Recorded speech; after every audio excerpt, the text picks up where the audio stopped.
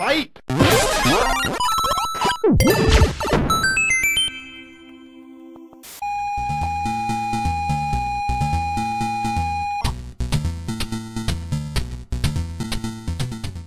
Acorn chose their brand name for two reasons. Firstly, because it came high and above Apple in the phone book, or whatever indexing system you preferred, and secondly, because it signified a growing company.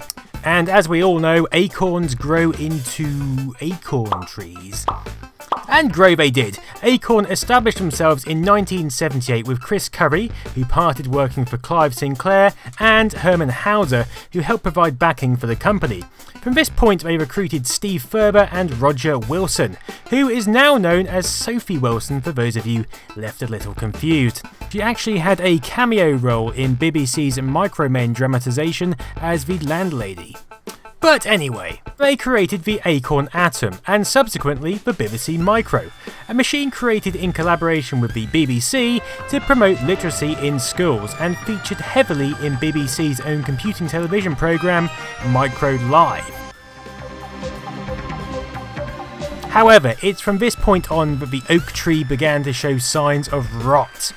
Acorn's Electron failed to meet the sales that Acorn had hoped for, which led to Olivetti effectively buying the company out in late 1985, but not before Acorn had started development on a now infamous microprocessor, the ARM chip.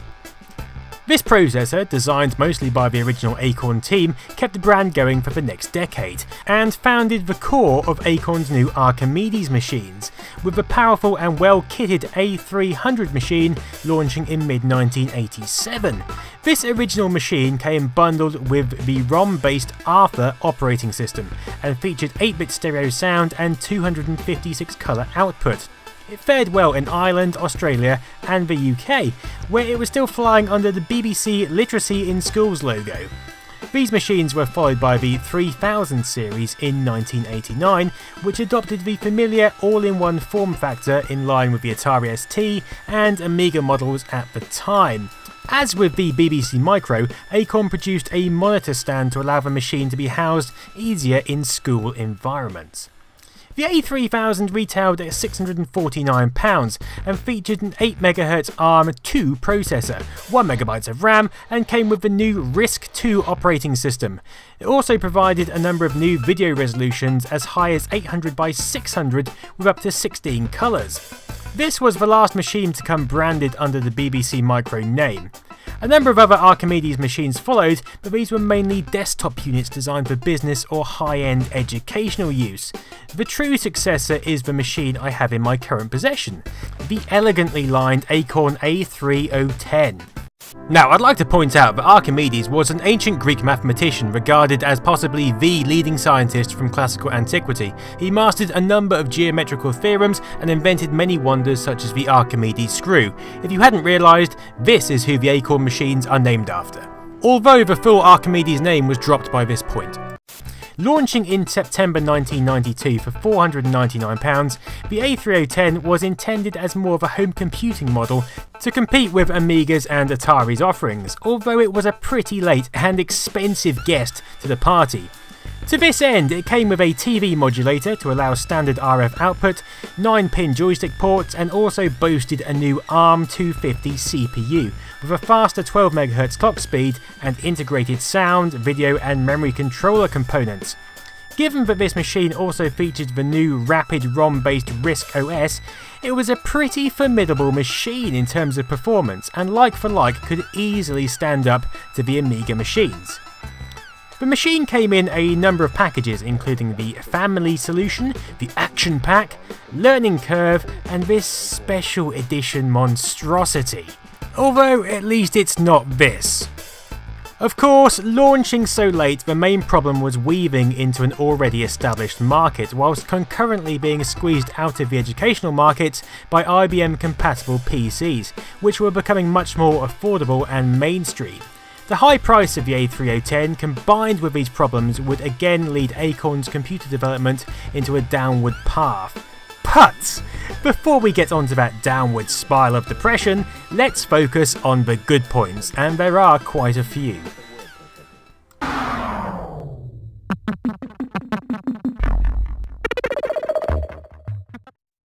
Undoubtedly, we've all heard of RISC, but what does it mean? Well, in simple terms, it stands for Reduced Instruction Set Computing, which translates to meaning that there are fewer functions built into the CPU, therefore making it more efficient and lower powered.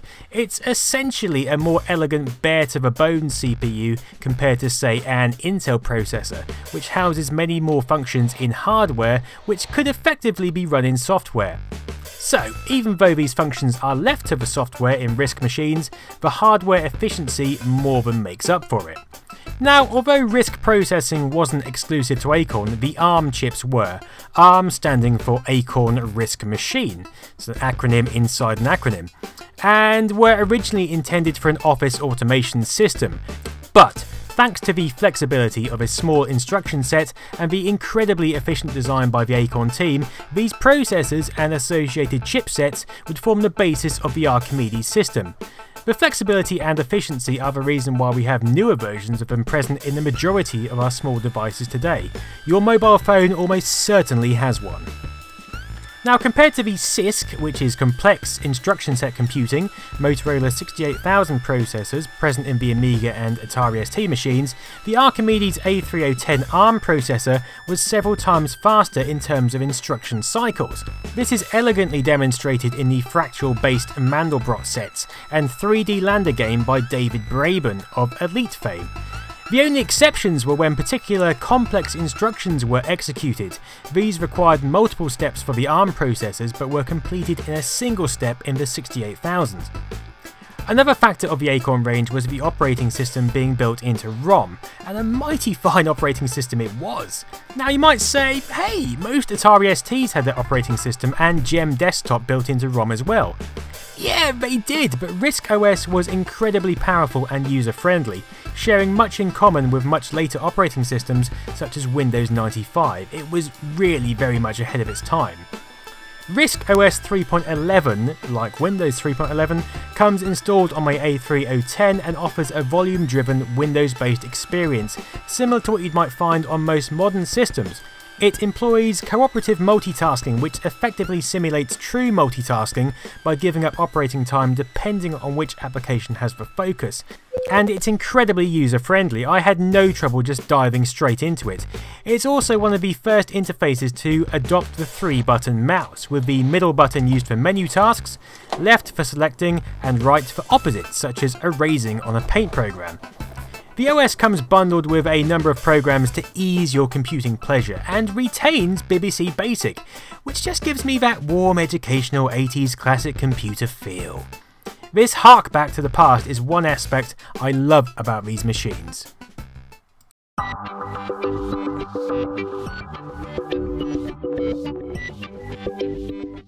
Externally, the machine looks very similar to other home computers of the time, although Acorn tried to retain the red function key feel of the earlier BBC Micros.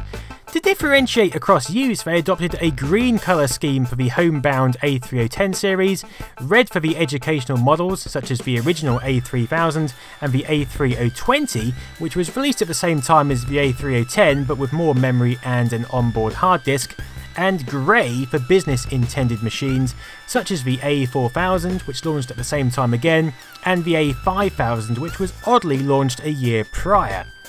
The keyboard offers a nice tactile response and feels much higher quality than both the Amiga and the Atari, which always felt a bit wobbly and clackety to my sensitive little digits.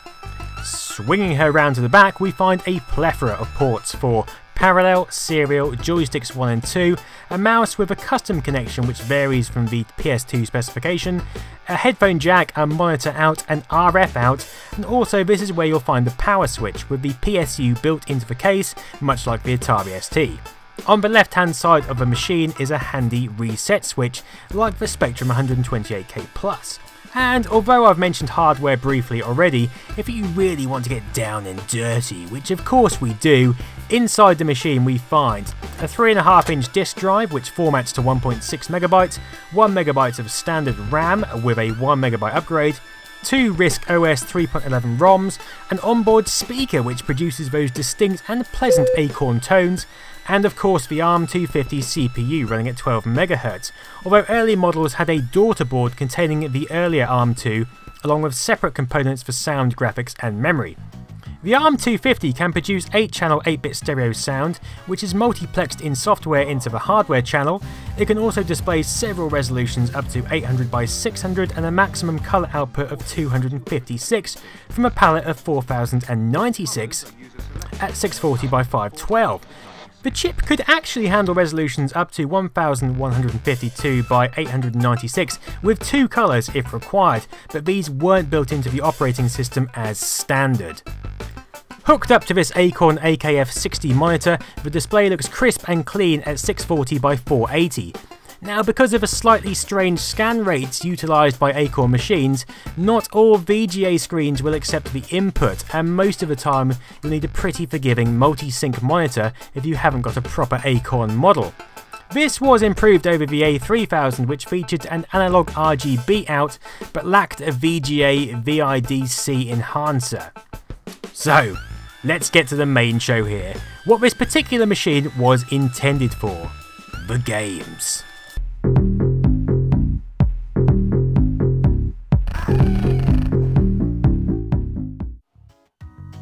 Now, as you might expect, the games library for the Archimedes range is somewhat restricted compared to its rivals, especially games designed for the A3010 hardware, which is technically not far off the Amiga 1200. But given the Archimedes range had been going for 6 odd years by this point, there's still a reasonable collection to choose from. Some are just Amiga ports, some are unique to the system. Here are some of the best.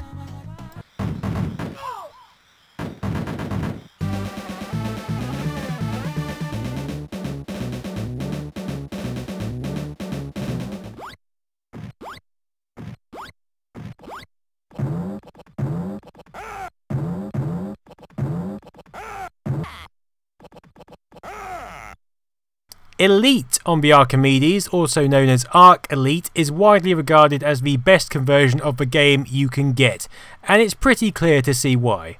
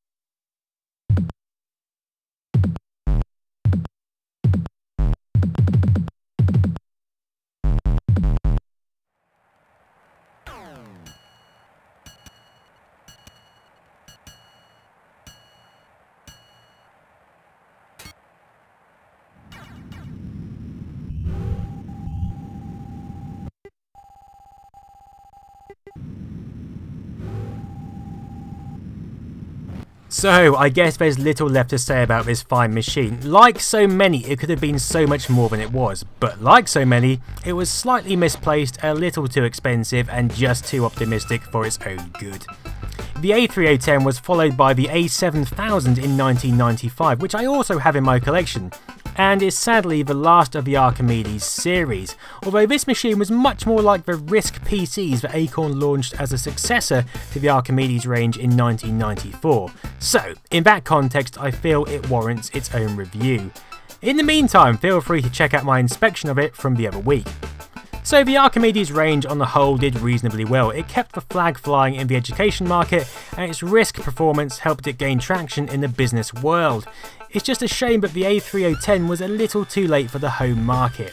I think we can all agree, however, that the true legacy for this machine and Acorn in general is not only that they gave countless British children the opportunity to learn computing and programming, myself included at school, but also the amazing ARM processor. As an original subsidiary of Acorn, it continues to this day as one of the most dominant microprocessor designers in the world. And as legacies go, that's quite a good one to lay claim to. Thank you for watching my review of the Acorn Archimedes A3010. I've done many system reviews in the past, many more to come in the future, So feel free to click one below or click this video from Computerphile which is Steve Furber talking about the ARM architecture, it's well worth a watch. Uh, feel free to contribute to my Patreon channel if you want to do that, or just leave. In any case, thank you very much for watching and good night.